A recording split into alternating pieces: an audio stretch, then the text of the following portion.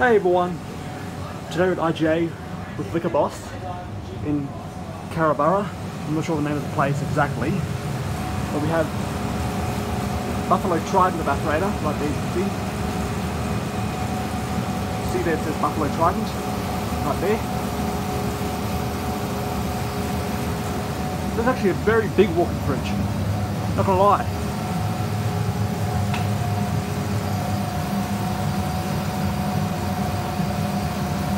So what an interesting find. Um, that's the IGA store right there actually.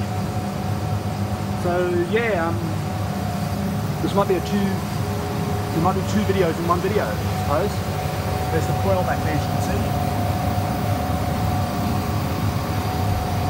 Yeah, there's the coil. There's the drainage pipe right there.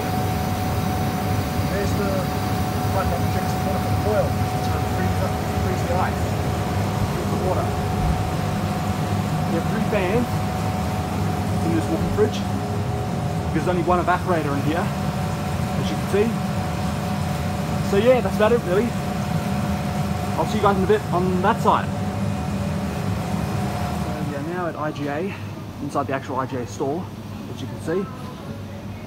And this is the same walk-in fridge I was just in, as you can see. So I was just in there.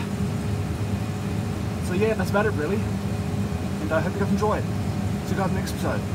Bye.